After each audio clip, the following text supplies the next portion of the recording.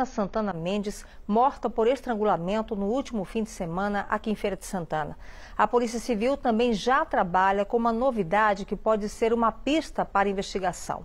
Foram encontrados em uma casa alguns sacos parecidos com os que foram usados para enrolar o corpo da adolescente.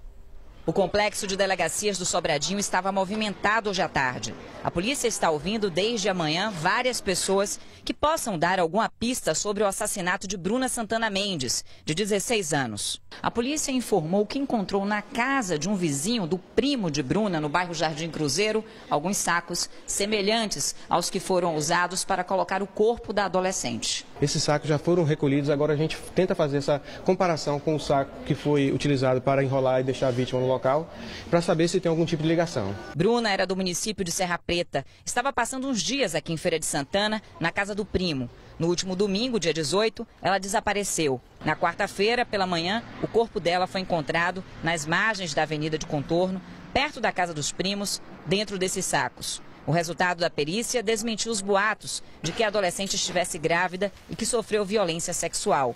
Hoje, a mãe do namorado de Bruna conversou com a nossa equipe. Isabelle disse que o filho, de 16 anos, vem sendo ameaçado nas redes sociais e que não tem saído de casa. Meu filho está sem poder ir à escola. As pessoas não sabem bem o resultado de tudo isso e já condenam e criticam meu filho. Então eu peço a essas pessoas que parem, porque quando o verdadeiro ocupado for pego, eu vou tomar minhas providências.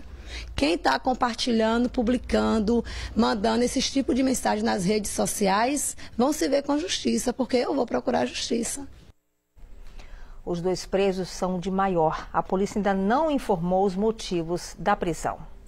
Um homem foi preso em flagrante hoje aqui em Feira de Santana por descumprir a medida protetiva solicitada pela ex